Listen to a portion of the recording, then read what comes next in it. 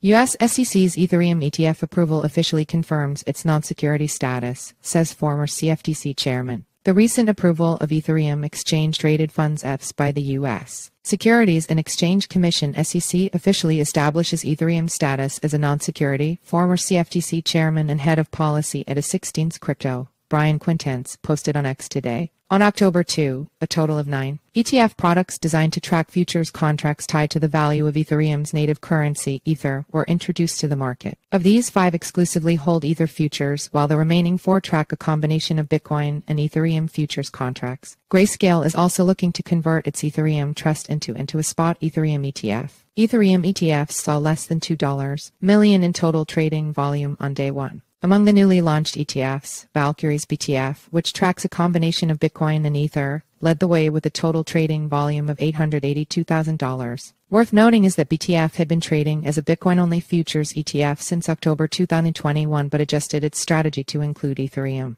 Comparing the initial trading volume of these Ether ETFs to the debut of the ProShares Bitcoin Strategy ETF BITO in October 2021, it's clear that Ethereum's reception has been more subdued. BITO witnessed over $1 billion in trading volume on its first day. Eric Balchunas, a senior Bloomberg ETF analyst, pointed out that while the Ether ETF's trading volume may seem modest, it is relatively substantial when compared to typical traditional finance ETF launches. However, he noted that investors generally prefer spot ETF products over those based on futures contracts. Balchunas also highlighted the SEC's decision to launch all these ETF products on the same day, a move aimed at preventing any single fund from gaining market dominance. Volatility Shares cancels plans to list ETH Futures ETF. Despite the growing interest in Ether futures and ETFs, some firms are cautious about entering this market. Volatility Shares, an ETF provider, recently canceled its plans to list a similar product, citing a lack of opportunities in the current environment. As the cryptocurrency market continues to evolve, the approval of Ethereum ETF signifies a significant regulatory development. The former CFTC chairman also opined on the occasion, it's ridiculous and insulting that it took so long to get here, but it's a big win for the crypto space and more importantly for the future of the internet.